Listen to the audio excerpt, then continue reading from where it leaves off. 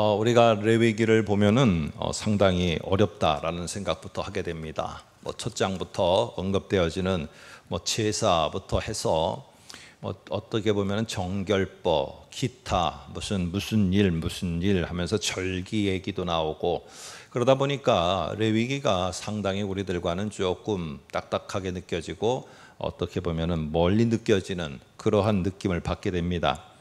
그러나 우리가 레위기를 지난번에 한번 전반부까지 봤고 이제 후반부가 시작되어집니다. 근데 레위기가 전반적으로 하고자 하는 말이 무엇인가를 먼저 내가 딱 잡고 있으면은 그 레위기가 그렇게 어렵거나 좀 멀리 생각되어지지 않고요. 상당히 내 삶에 아주 깊은 메시지를 던져주고 있다는 것을 보게 됩니다. 그래서 이 레위기 전반에 걸쳐서 우리가 꼭 기억해야 될 핵심적인 말이 오늘 19장 2절에 언급이 되는데 한번 같이 보겠습니다. 거기에 이렇게 말합니다. 너희는 거룩하라 라는 말이고 왜냐하면 이는 나 여호와 너의 하나님이 거룩하기 때문이다 라고 이렇게 말합니다. 자, 그렇다면은 레위기에서 전반적으로 어, 우리들에게 전하고자 하는 핵심은 뭐냐면은 하나님이 거룩한 하나님이니까 니네가 하나님의 백성이면은 너희는 거룩한 백성 다음의 삶을 살아가야 된다는 것입니다. 자, 근데 우리는 이것만 받으면은요, 하, 내가 하지도 못하는 거룩한 삶을 나버려 살으라고 하네. 하나님이 거룩 거룩하시니까 하나님 앞에는 내가 가까이도 나아갈 수 없고 거룩거룩 하면은 떠오르는 게 뭐냐 하면은 조신함, 겸손함, 뭐 이런 것만 떠오르게 되고 그러다 보니까 이 거룩 거룩 찬양은 하는데 내 삶은 거룩해야 된다고 하는데 너무나 내가 살아가는 현실과는 동떨어져 보이는 꼭 이런 말씀처럼 우리에게 들립니다. 자, 그런데 오늘 한번 기억해 보세요. 오늘 지금 이 레위기를 통해서 하고 있는 내가 거룩하니 너희는 거룩하여라 라고 하면서 주어지는 이 말씀이 이스라엘 백성이 가나안 땅에 들어가기 직전에 하나님이 아주 중요하게 선포하면서 알려주시는 말씀이라는 거예요. 여러분 그렇다면은요. 가나안 땅이라는 것은 한편으로는 축복의 땅이지만은 다른 한편으로는 미지의 세계예요. 거기에 나를 기다리고 있는 대적들이 누군지, 내가 어떤 싸움을 싸워야 되는지, 어디에 매복되어 있는 나의 적들이 나를 죽이려고 하는지, 거기에 어떻게 내가 살아가야 되는지 정말로 막막한 현실이 가나안 땅입니다. 그런데 그런 가나안 땅에 들어가는 이스라엘 백성에게 하나님은 뭐라고 말씀하시느냐? 너희는 꼭 기억해라. 너희가 신앙하는 하나님 나 여호와는 거룩하다는 것이다. 이거 잊지 말아라. 그리고 너희는 하나님의 백성이기 때문에 거룩해야 된다. 이 두 가지 사실만 기억하고 너희가 꼭 마음에 갖고 있으면은 너희 앞에 어떤 일이 있더라도 너희 앞에 요단강이 가로막혀 있더라도 아니면은 여리고 성이 너희를 가로막고 있더라도 일곱 족속이 기둥처럼 너희를 기다리고 있다 할지라도 그거는 문제가 아니다.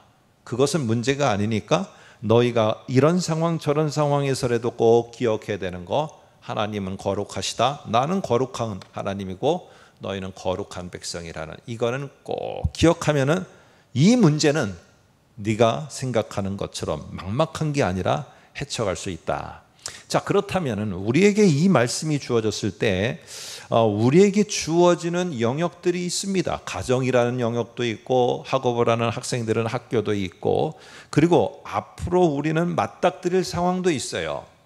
내가 경험해보지 못한 상황도 있고 어르신들은 내가 가지 않았던 그 길을 한 걸음 한 걸음 인생의 노년을 걸어가면서 막막함 속에서 걸어가야 될 때도 있고 자 이러한 일들 속에 있을 때 하나님은 오늘 레위기를 통해서 우리 모두에게 이렇게 말씀하십니다.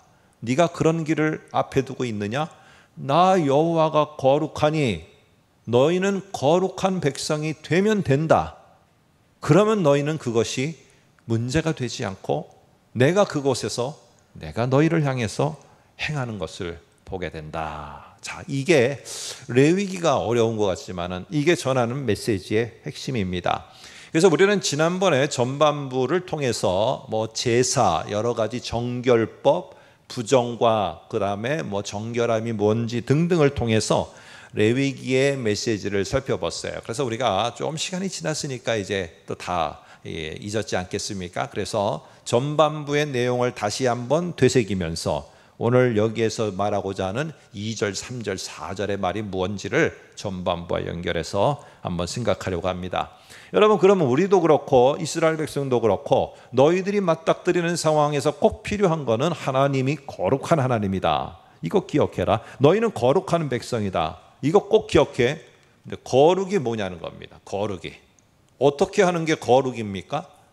오늘 이거를 가지고 전반부에서 핵심적으로 레위기 전반부에서 어, 다루었습니다. 그런데 오늘 다시 한번 상기하는 의미에서 거룩이라는 것은 그렇게 어렵지도 그것이 추상적인 것만도 아닙니다. 여기에 보면은요, 거룩이라는 의미는 구별하다라는 말입니다. 구별하다. 그러면 거룩한 하나님이라는 것은 무엇이냐면은 하나님을 다른 것들과 동일 선상에서 자꾸만 생각하려고 하지 말라는 거예요. 하나님이 계획하시는 생각과 하나님이 계획하셔서 펼쳐가시는 것을 자꾸 내 생각의 기준으로다가 그 하나님이 이끌어가는 것을 판단하는 거, 이거는 하나님을 내 동일 선상에서 놓는 거예요. 하나님은 그런 하나님이 아니라 구별된 하나님이라는 거예요. 자, 그럼 제일 먼저 뭐와 구별될까요? 이스라엘 백성들이 지금 들어가야 되는 땅은 가나안 땅입니다. 가나안에는요, 그들 나름대로의 다 신들이 있었어요. 여러 잡다한 신들이 있었습니다. 그런데 그 잡다한 신들은 어떤 신들이냐? 그 가나안 사람들이 자신들에게 필요한 풍요를 가져다 주거나 다산, 많은 자녀를 낳게 하거나 질병과 고통 속에서 내가 벗어나는 것. 이게 그들의 핵심이에요. 그러니까 그러기 위해서 어떻게 했느냐? 오늘 내가 건강에 문제가 있어요. 참 힘들어요. 그럼 어떻게 하느냐? 이 물컵을 갖다가 오늘 내가 형상을 만들어서 물컵 신으로 만들면 되는 거예요. 그리고는 이 물컵 신에 좋아하는 게 뭘까? 물컵이 뭐가 좋다고 말을 하겠어요? 물컵이 이렇게 해달라 저렇게 해달라 이 컵이 뭘 말하겠어요? 자기가 만들어내는 거예요. 물컵이 이렇게 하면 좋겠다. 아, 자식을 갖다가 불태우면은 이 정성이 물컵이 이해해 주겠지. 하면서 그걸 갖다가 하는 겁니다. 자식을 불태우는 몰렉신에게 향하는 음란한 행동을 보이면은 뭔가 나를 위해서 좋은 걸 해주겠다. 바알에게 그렇게 보이는 거예요. 내가 만들어 놓고는 내가 그렇게 섬기는 것도 다 그렇게 만들어요. 근데 그게 이유가 뭐냐 하면은 나를 위하여 죄다 그렇게 만드는 거예요. 나를 위하여가 목적이에요. 나를 위하여가. 여러분 그러다 보니까 이 속에는 결국에는 나를 위하여 내가 만든 거예요. 그런데 하나님을 그렇게 여겨서 동일시하지 말으라는 거예요. 하나님은 만들어진 신이 아니에요. 하나님은 그래서 뭐라고 선포하느냐? 하나님은 창조주 하나님이다. 이렇게 말씀하세요. 하나님은 우리를 만드셨고, 그리고 하나님은 뭐라고 말씀하시느냐? 하나님은 구원의 하나님이다. 라고 이렇게 자기 자신을 다른 신들과 분리하고 구별해서 말을 해요. 여러분, 하나님이 구원의 하나님이세요. 뿐만 아니라 하나님이 우리를 향해서 만드신 분이에요. 그러면 어떻게 해요? 나를 만들었고, 나를 갖다가 구원하셨고, 나를 인도하시고, 이런 데는 하나님의 다 목적이 있는 거예요. 이스라엘을 이집트에서 꺼내어 와서 가나안 땅에 들어가게 하셨다. 이 구원의 하나님이다. 하나님이 가나안 땅에 들어가서 무엇인가 목적이 있는 거죠. 그러면 어떻게 돼요? 하나님을 구별해서 보고 하나님을 구별해서 믿고 신앙하게 되면은 나를 위해서 무엇인가를 하려는 게 목적이 되지 않고요. 왜 나를 만드셨을까? 왜 나는 참 이렇게 부족하고 연약한데 도대체 나를 왜 이곳에 세워 두셨을까? 이거를 생각하면서 하나님 그럼에도 불구하고 하나님이 나에게 원하셔 당신을 위해서 살 수 있는 게 뭐가 있습니까? 하며 나를 다시 생각하게 돼요. 하나님이 여기에 두셨다면은 하나님을 위하고자 하는 게 저를 통해서 있으실 텐데 제가 무엇을 하면 될까요? 이렇게 묻고 이렇게 하나님을 위해서 할 것을 찾아가게 됩니다.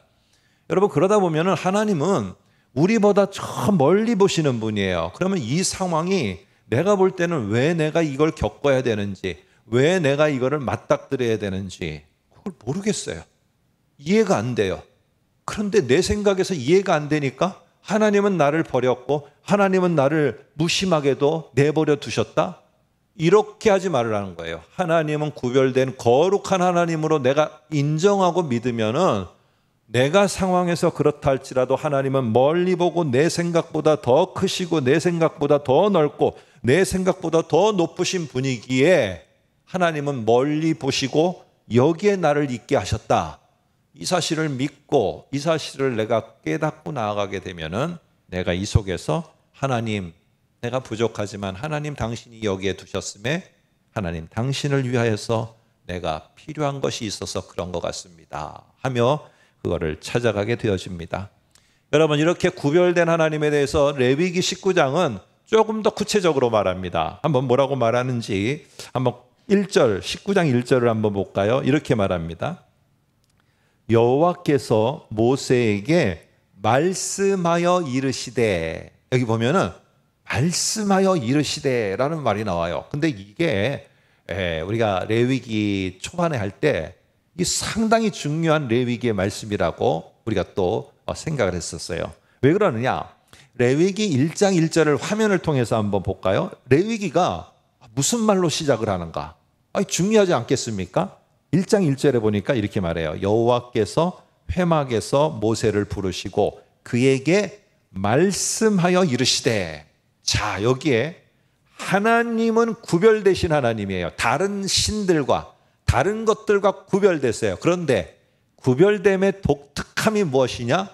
이 하나님은 말씀을 하시는 하나님이라는 거예요.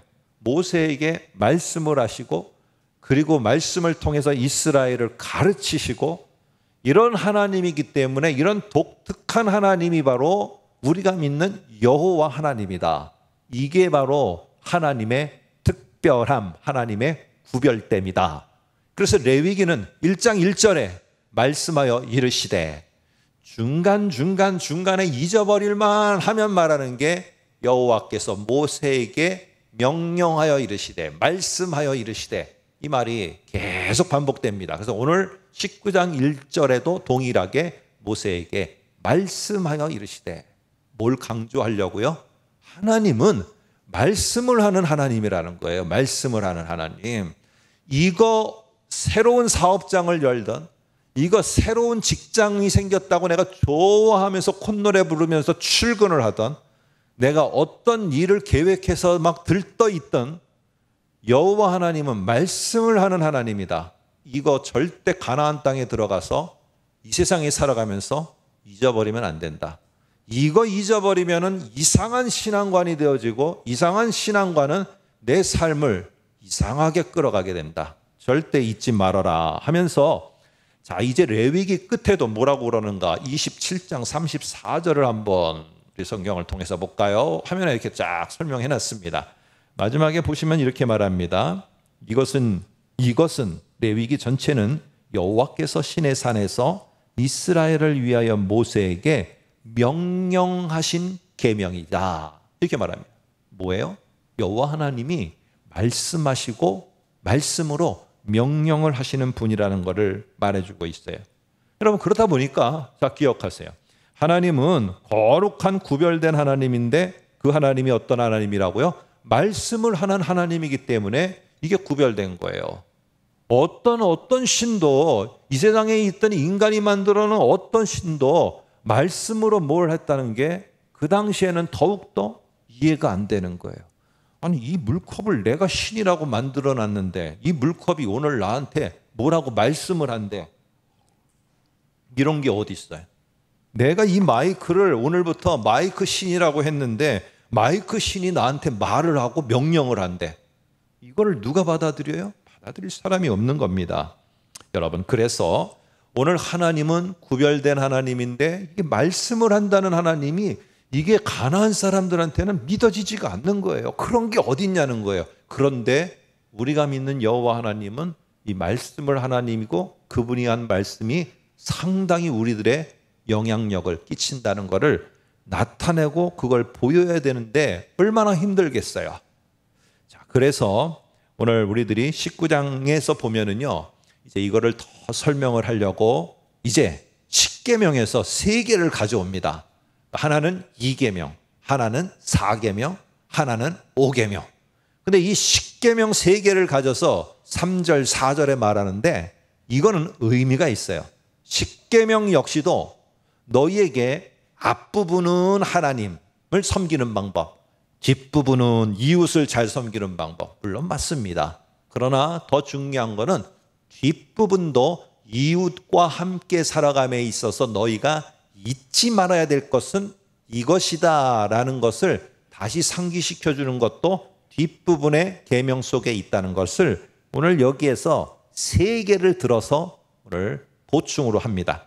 그게 첫 번째가 4절에 보면은요. 앞에 화면을 보시면 이렇게 말합니다. 너희를 위하여 신상을 부어 만들지 말라. 나는 너희의 거룩한 하나님 여호와니라. 이렇게 말합니다. 자, 앞부분에 너희를 위하여 신상을 부어 만들지 말아라. 이거 누가 하는 거예요? 가나안 사람들이 하는 거예요. 가나안 사람들이 하는 것이었는데 이것을 너희가 들어가서 보고 어 이거 답습을 해 갖고 이 모방을 해서 카피를 해 갖고 아니 우리도 여호와 하나님을 갖다가 신상으로 만들어 갖고 아, 우리도 그 신상 앞에 가서 절도 하고 뭣도 하고 이러면서 우리를 위해서 뭔가 필요한 거를 요청하자 그런 마음이 들 거다. 그렇게 하지 말라는 거예요. 왜? 나는 거룩한 하나님 여호와다. 나는 뭐예요?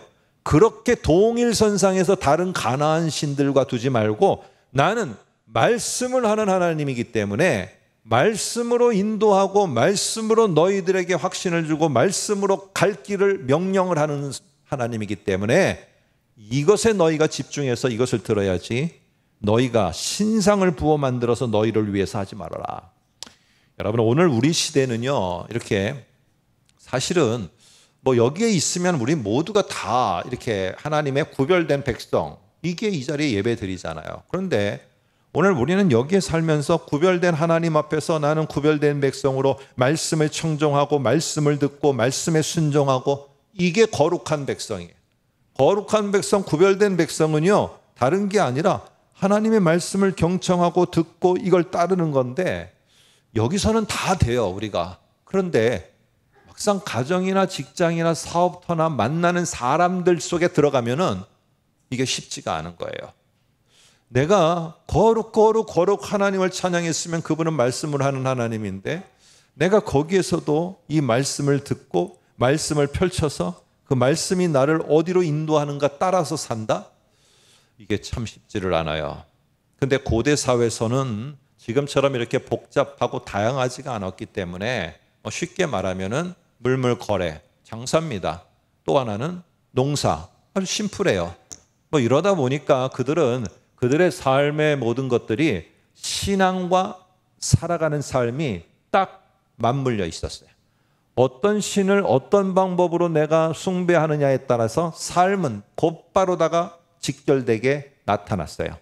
그런데 가나안 사람들의 그런 신앙과 삶은 어떤 겁니까? 만들어 놓은 신 앞에서 나를 위해서 내게 필요한 거를 구하기만 하면 되는 거였어요. 그런데 가나안 땅에 들어가면은 하나님은 아신 겁니다. 그게 그들에게 얼마나 필요한 건지를 안 거예요. 근데 너희는 분명히 기억해야 된다. 구별된 백성이에요. 그러면 하나님은 말씀하시고 그런 구별된 하나님 앞에서 구별된 백성은 하나님의 말씀을 듣고 순종하고 나를 위하여가 아니라 하나님을 위해서 살아가야 된다 하는 것이었습니다. 여러분, 하나님의 말씀을 지금 펼쳐서 자, 이 자리에서 하나님의 말씀을 펼치고 그 앞에서 하나님의 말씀 앞에서 이것을 가지고 아멘 한다고 이 예배 때 뭐라고 그럴 사람 한 사람도 없어요. 그런데 여러분과 젊은 친구들이 이 전철에 갔을 때 내게 주시는 이 하나의 말씀을 가지고 아니면 내가 다니는 직장에 조금 더 가서 말씀을 펴서 이렇게 묵상을 하면서 이것을 가지고 내가 하루를 살아가기 위해서 하나님이 나에게 무엇을 말씀하고 명령하는가를 알려고 하는 것. 이거는 이 울타리 안에서는 보편적인 거지만은 여러분들이 사회에 나가서 세상의 울타리 속에서는 아주 구별된 모습이 된 거예요. 왜? 우리는 그렇게 안 하거든요. 세상의 사람들은 다 그렇게 안 하는데 왜 너는 그렇게 하냐? 나는 내가 믿고 신앙하는 하나님이 구별된 하나님, 말씀을 하는 하나님이기 때문에 나는 그것을 따라서 말씀을 들으며 사는 백성이기 때문에 나는 이것을 펴서 내가 이것을 할 수밖에 없다. 내가 이렇게 하는 게 내 삶이다. 여러분, 하나님은 이렇게 하면은요, 어떻게 하느냐? 오늘 우리가 하고 있는 일, 사업, 영역, 하나님이 이걸 달라, 직장을 달라, 뭘 달라? 이거 하기 전에 하나님 앞에 저와 여러분이 결단하고 분명히 해야 될 게 있어요. 내가 어디에 가든지, 내가 무슨 일을 하든지, 나는 하나님이 나의 거룩한 구별된 하나님, 말씀으로 구별된 하나님인 것을 나는 잊어버리지 않겠습니다. 내가 곤두박질처럼 인생의 밑바닥에 그늘 아래 있더라도 말씀하시는 구별된 하나님 잊지 않겠습니다. 그러면 그 상황이 되면은 어떻게 합니까? 나의 그 하나님의 말씀을 피고 나는 그 말씀 앞에 청종하기 위해 무릎을 꿇고 결국에 나아가게 됩니다. 내가 하는 일, 내가 봉사, 또 나를 위한 직장, 여러 가지 사업, 모든 것들 속에서 중요한 것은요. 이게 거룩한 일이 되고 이게 구별된 일이 되고 여러분 어떤 직업은 구별되고 하나님이 거룩한 일이고 저와 같이 이렇게 설교하고 메시지 전하는 일은 거룩한 일이고 세상에 나가서 또 다른 여러 가지 사업 터전에서 하는 것은 거룩한 일이 아니고 그렇게 결정되지 않습니다. 중요한 건 뭐냐? 그 일을 누가 하고 있느냐는 거예요. 거룩한 백성, 구별된 백성이 하나님의 말씀을 펴들고 오늘 하루를 이 말씀을 듣고 붙잡고 하루를 그 사업장과 일터와 영역 속에서 해 나갈 때 그곳은 바로 하나님의 거룩한 곳이 되어진다는 거예요. 저와 여러분이 어떤가가 중요한 겁니다. 여러분, 시대는요, 계속 바뀌어가고 있습니다. 이 변화하는 세상을, 아, 저같이 이제 조금 더 중년의 나이에 이제 넘어가고 있는 사람들은 정말 따라가기 힘들어요. 우리 어르신도 따라가기 힘들 거예요. 여러분들 아십니까? 제가 최근에 한 사이트를 알게 됐는데 이게 교육을 하는 겁니다. 교육을 하는데 어, 우리가 필요해서 배우고 싶은 영역이 있잖아요. 대학은 다 졸업했고 과는 틀리고 또 나이가 틀리는데 다른데 어떻게 하는가? 근데 그 사이트에는요 어떠냐면은 접속을 하면은 독일어, 불어, 영어, 한국어, 일본어, 중국어 다 강사들이 하는데요. 그 내가 어떤 거를 배우고 싶은 게 있으면은 거기에 딱 들어가면은 전 세계에 내놓을 만한 강사들, 정말 나는 이 노하우를 가지고 있다라고 하는 사람들, 그 사람들이 강의를 만들어서 올려놨어요. 여러분 듣는데 만 오천 원, 이만 원 밖에 안 돼요. 그게 내게 그러면 계속 들을 수 있어요. 그것만 그거에 그 부분만 그럼 이런 게 있어요. 아니, 나는 영어를 못 하는데요. 다 밑에 자막이 나와. 중국어 못하는데요. 자막이 다 해서 가르쳐 줘요.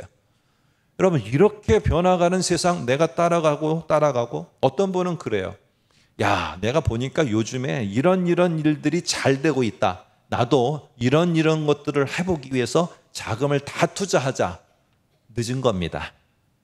늦은 거예요. 다 하고 있을 때 그 다음에 내가 뒤차 타면은 늦은 거예요. 앞에 한 사람들은 정리하고 있어요. 그런데 이런 걸 따라가다 보면은 세상에 보세요. 이 가나안에 들어갈 때도 이 사람들을 다시 우리가 만난다면은 그럴 거예요. 우리가 가나안 땅에 들어갈 때 얼마나 노심초사하며 새로운 세상에 새로운 세계에 어떻게 할 것인가 정말 내가 우리가 고민했다 말할 겁니다. 우리도 똑같아요. 어떻게 우리에게 다가올지 몰라요. 그런데 우리는 기억해야 됩니다. 2000년 전에도 아니 그 전에 4천 년 전 그 이전에도 항상 변하지 않았던 거 지난번에 말씀드렸던 것처럼 변하지 않았던 걸 우리는 붙잡아야 되지 않겠어요? 저와 여러분에게 변하지 않는 게 뭐가 있습니까? 하나님. 거룩한 하나님이 안 변해요. 여러분, 여러분이 믿는 하나님이 내 상황에 따라 막 변하는 하나님이십니까? 아니라고 믿잖아요. 근데 그 변하지 않는 하나님이 변하지 않는 도구로 우리를 변함없이 인도하세요. 근데 그 도구가 뭐예요? 당신의 말씀이에요. 이거는 몇 천 년이 흘러오더라도 안 변했어요. 자, 그러면은 어디에 떨어뜨려 놓더라도 우리를 저 음부 밑바닥에 내가 놓이게 된다 할지라도 저 천상과 같은 곳에 놓인다 할지라도 나에게 있어서 잊혀지지 않고 놓지만 않으면은 내가 하나님의 거룩한 백성으로 살 수 있어요. 그게 바로 무엇입니까? 말씀하시는 하나님에 대한 확신.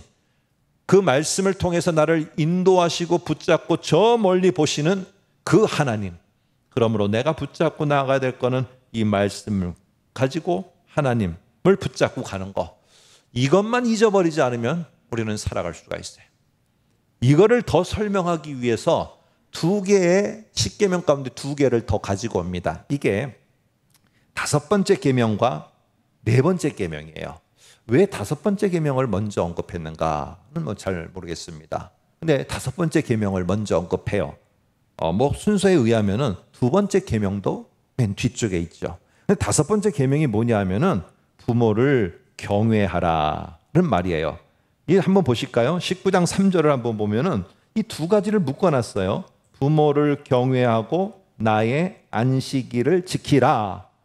요거를 어떻게 너희는 이해해야 되느냐? 나는 너희의 거룩한 하나님 여호와니라.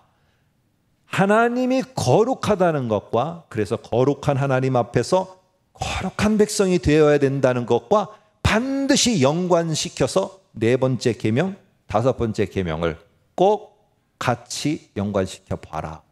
오늘 분명하게 친절하게 3절은 말해주고 있어요. 자, 그런데 이 다섯 번째 계명에 출애굽기 20장 12절에 보면은 이렇게 말을 하거든요. 내 부모를 공경하라. 그런데 오늘 19장 3절에서는요. 내 부모를 경외하라고 돼 있어요. 이게 왜 그럴까? 조금 이따가 보겠습니다. 자, 우리가 이 공경한다는 말을 들을 때는 사람들은 뭐가 생각하느냐면 봉양하고 돌보고 케어하고 이런 말들을 우리는 먼저 생각해요. 그런데 공경이라는 말의 더 중요한 의미는 이런 말입니다. 중히 여기다. 아주 무겁게 여기다라는 말이에요. 특별히 뭐에 대해서 중히 여기느냐? 말에 대해서 중하게 여기는 거예요. 나중에 예, 뒤에서 나옵니다만 혹시 다시 볼 수 있는 기회가 모르겠어요. 새벽에는 했는데 이 부모가 하는 말을 갖다가 부모를 저주한다는 말이 나와요. 그런데 부모를 저주한다는 게 우리가 말하는 저주하는 게 아니라 부모가 하는 말을 수치스럽거나 무시해 버린다는 거예요. 근데 오늘 여기서 중히 여기고 무겁게 여기는 거는 엄마, 아빠, 특별히 부모들이 그냥 아무 말 하는 거를 중히 여기고 무겁게 여기는 게 아니라 이 당시에 부모들은 하나님으로부터 받은 거룩한 하나님으로부터 받은 그 말씀을 자기 자녀들에게 가장 중요하게 전달하는 전달자였어요. 전달자들. 그렇기 때문에 부모를 공경하라는 말의 공경의 정, 더 중요한 의미는 부모로부터 지금 전달되어져 내려오는 말씀. 우리로 지금 말하면 본문으로 요 한정시키면은 여호와는 거룩한 하나님이다. 절대 잊으면 안 돼. 너희는 거룩한 백성이다. 어디에 가서 무슨 일을 하든지 절대 잊어서는 안 돼. 이거를 부모가 전할 때 그거를 중요하게 여기고 경시 여기지 않고 아주 그거를 무겁게 여겨서 탁 받아들이는 거. 이게 오계명의 핵심이라는 거예요. 하나님을 거룩하게 여기는 자는 하나님이 부모를 통해서 전달하는 거룩한 하나님의 말씀을 경히 여기지 않는다는 거예요. 결국에 무엇입니까? 하나님은 거룩한 하나님이기 때문에 너희 부모가 하는 말을 부모가 하는 말로만 여기지 말고 그게 하나님이 지금 하시는 말씀으로 너희가 그것을 받아들여 그 말씀을 잘 보고 거룩한 백성으로 살아라는 것. 여러분 비슷한 가르침이 에베소서 우리 신약이지만은 뭐 참고로 우리가 한번 그냥 참고입니다. 참고로 한번 좀 보겠습니다. 6장 아, 1절에 보면은 이런 말이 나와요. 자녀들아 주 안에서 너희 부모에게 순종하라 하니까 부모가 이 학교 가라고 그러면 이 학교 가고 저 직장 가라고 하면 저 직장 가고 누구하고 결혼하라고 하면 누구하고 결혼하고 왜 그렇게 하냐? 부모에게 순종하라고 했으니까요. 여기서 순종은 그거 아닙니다. 이 순종의 말은요, 두 가지가 합해서 됐는데, 앞에 화면을 보시면은 이겁니다. 휘파쿠오라는 그리스 말입니다. 그런데 이 말은요, 뭐뭐 아래서, 뭐뭐 밑에서, 그리고 경청하여 듣다라는 말이에요. 우리가 한 사람이 떠오르죠. 마르다와 마리아에 있어서 예수님이 탁 오시니까 언니 마르다는 상당히 분주했어요. 그런데 마리아는 예수님의 발 아래 탁 앉아서 무릎 꿇고 오늘 주님이 뭘 하려고 하는지 말씀을 하려는지 들으려 했어요. 이게 순종이에요. 이게 순종. 오늘 그래서 부모들은 이 교회가 바울이나 예수 그리스도가 전해준 그 말씀을 부모는 그대로 그들에게 자녀들에게 전하고 자녀들은 순종하라는 것은 무릎을 딱 꿇고 하나님이 예수 그리스도가 나에게 어떻게 살아가기를 원하시는가를 전해주는 것을 받아들이는 것 이게 순종입니다. 자 그런데 오늘 아까 질문 드렸던 왜 도대체 이 레위기 19장 3절에서는 부모를 공경하라고 하지 않고 경외하라고 했을까? 너희 각 사람은 부모를 경외하고 라고 했을까? 경외라는 말은 성경에서 유일한 대상은요, 하나님이에요. 하나님밖에 없어요. 하나님밖에 없어요. 근데 왜 하나님께만 쓰는 이 단어를 부모에게 썼을까? 아까 말했던 그 말입니다. 부모가 하지만은 부모가 거룩한 하나님에 대해서 말할 때는 이거는 지금 하나님이 부모를 전달자로 써서 거룩한 하나님의 어떤 분인가를 전하고 있으니까 너희는 그 앞에 딱 무릎 꿇고 그리고 이 거룩한 하나님이 어떤 하나님인가를 들으라는 거예요. 그리고 너희도 거룩한 백성으로 살으라는 거예요. 하나님이 이게 망하게 하려고 이렇게 이런 걸 가르치셨겠습니까? 가나안에서 내 백성이 백성답게 잘 살도록 하기 위해서 이 원칙 심플하지만은 상당히 살기 힘든 이 원칙을 가르치신 거예요. 그래서 오늘 이 5계명의 진짜 핵심은 거룩한 하나님, 이 하나님을 전달하고 소개할 때 이 거룩한 하나님 앞에서 거룩한 백성으로 살기로 너희는 분명하게 결단하라. 이게 5계명 속에 있습니다. 그러면 4계명이 그 다음에 나오는데 안식일을 지키라는 것입니다. 안식일을 기억하고 거룩하게 구별되게 지키라는 거예요. 이게 출애굽기 20장 8절에 보면은 이렇게 말합니다. 안식일을 기억하여 거룩하게 지키라. 안식일을 다른 날과 상당히 구분해 두라는 거예요. 이 말은 뭐냐면은 무슨 일이 있어도 이 날은 꼭 구별해서 딱 빼놓으라는 겁니다. 그래서 안식일의 뜻은요. 예, 그리스 어, 어, 죄송합니다. 이스라엘 말로 샤바트라는 말인데 하던 일을 중단하는 거예요. 다시 말해서 기계 돌리고 있었는데 딱 그날이 되면 딱 기계를 멈춰 세우라는 거예요. 이거 하면은 망하는데요. 여러분 우리는 기도하면 안 돼요. 내가 이거를 딱 멈춰 세우면은 하나님이 다음에 두 배, 세 배, 네 배로 갚아 주신다. 여러분 그런가요? 정말 다 모든 사람이 여기에 주의를 지키기 위해서 딱 올스톱 했는데 내가 가니까 막 두 배, 세 배, 네 배 다 늘던가요? 안 느는 사람이 더 많아요. 그런데 왜 도대체 하던 일을 딱 멈춰 세워야 되느냐는 거예요. 여러분, 가족 가운데 누가 급한 일이 벌어졌어요. 그럼 내가 기계를 돌리다가 가족이 누가 급하다고 하면은 계속 돌립니까? 아무리 있어도 그거보다도 더 중요한 내 가족에 무슨 일이 있다면 그냥 세우고 달려가는 거예요. 오늘 어떤 일보다도 기계를 세우고 농사를 멈추고 이것보다 더 이거 이 멈추는 일보다 더 중요한 게 하는 일보다 더 중요한 일이 있으니까 너희는 멈춰 세우라는 거예요.